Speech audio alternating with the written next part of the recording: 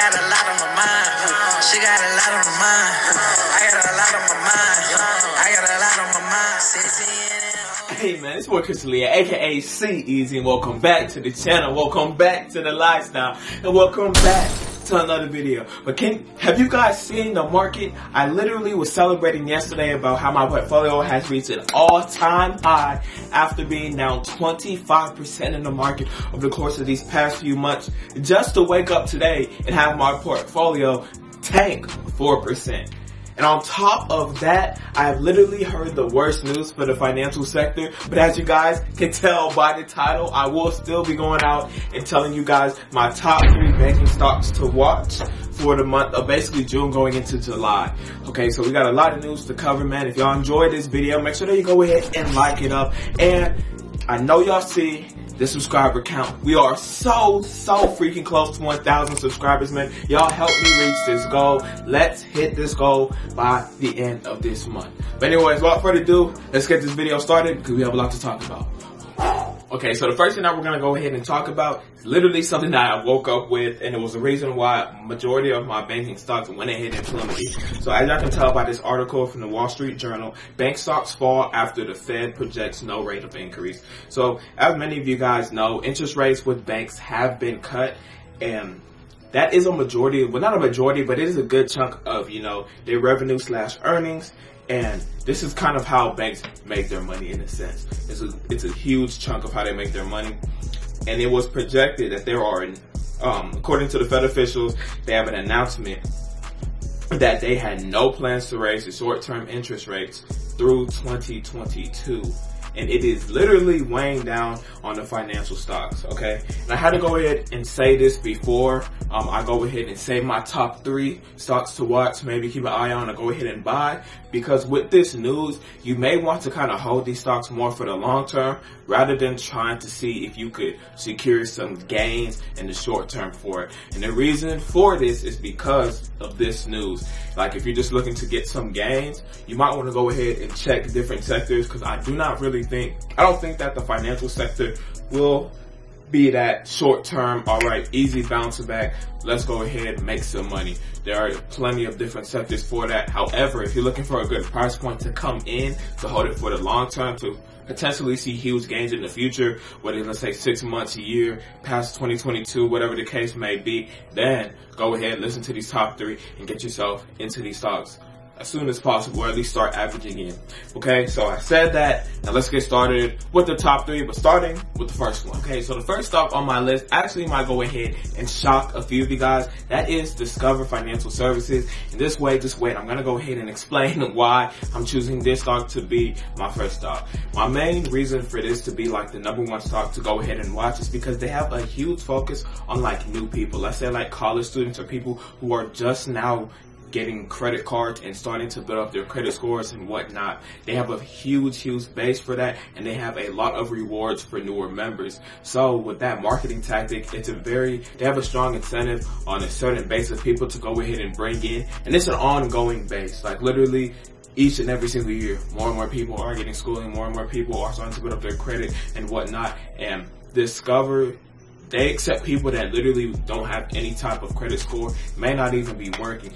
And on top of that, they were the first to offer cash back to their card holders. And essentially it's what they're known for. Like that's why there's such an incentive to, oh shoot, let me go ahead and get a Discover card as my first one. Cause literally the promos and things that they have for first year people from they give you some cash back for good grades. They um, also go ahead and credit you for your first purchase. This is various things. And then I think they have like a 5% max within your first year. So there's just a big incentive to spend and actually kind of stay the course with them. So that's why I have them on my number one. And on top of that, with all these banking stocks, as we can go ahead and see, they're already at discounted prices because of all the news that's been currently coming out about them, especially amidst the virus and everything else that is continuing to happen. So in a sense, all of these stocks that I'm about to list are at a pretty good price point if you guys want to go ahead you know, think about putting your money into it. Okay, so now for the second. Okay, and with the second stock on this list, we have none other than JP Morgan Chase and Co. And this one is literally a no-brainer. If you guys do not know, they are the largest bank in America and the sixth largest bank in the world according to their assets, which is literally huge. And the biggest incentive with Chase, besides, you know, their amazing customer service and whatnot, is the fact they're essentially a one-stop shop. So whenever a customer comes, they can literally do everything they need financially with them. From taking out loans, open checking savings accounts, getting cards, essentially whatever you need, they have for you. So it's kind of just like their whole motive and their marketing strategy is to bring people in and just let them know like whatever whatever financial thing that you need we have here and you don't need to outsource anywhere else so that's kind of why i feel like they are going to have like some of the biggest they're gonna have like the biggest presence in like the the financial sector, especially on moving forward into the future. If they can keep up building a whole lot more banks, it's only just gonna bring up their total, you know, earnings and whatnot, just because of the fact that it is a one-stop shop. So they do see a large amount of customers that stay at a long term, which in turn is gonna keep increasing their revenue. So this with this stock is less of a risk just because me personally, I just feel like Chase is going to continue to elevate as like, they constantly come out with more and more news um, about how they want to expand and market themselves. So this is the second stock, and now we're going to move on to the final stock. Okay, and the final stock on this list is the American Express Company, and they are the largest credit card issuer in the United States, and they have some of the best rewards known to man, from their traveling cards um, to their everyday rewards. And their whole marketing strategy is is essentially to keep bringing more and more rewards to stir up spending and whatnot. Because essentially, the more money you can spend, the more rewards you can get. And it's kind of like this cycle. You spend more to get more, you spend more to get more. So they have a very, very strong marketing strategy. And I feel like with this strategy, as long as they can continue to execute this successfully and they still have they have a lot of room for growth. And like I said earlier, for each and every one of these stocks, they are at a discounted price right now.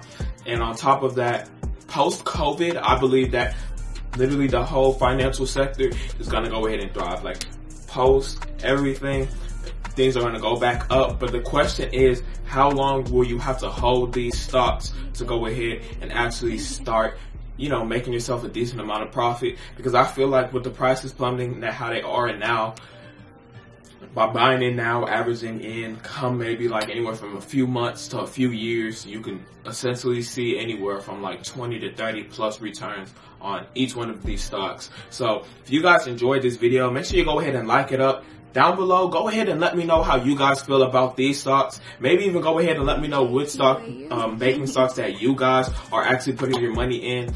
And um, like I said again, guys, we are so freaking close to 1,000 subscribers, man. Y'all help me reach this goal. Um, I've been gunning for it for a while, but um, I got a lot more content on the way, a lot more videos, and um, yeah, like I said, it's like, subscribe, all that. But anyways, it's your boy Chris Alia, aka C Easy, and I'm out. I got a lot on my mind. 16 and O and that 2 9. 9. I got AK with the scores and 9. 9. Undercover.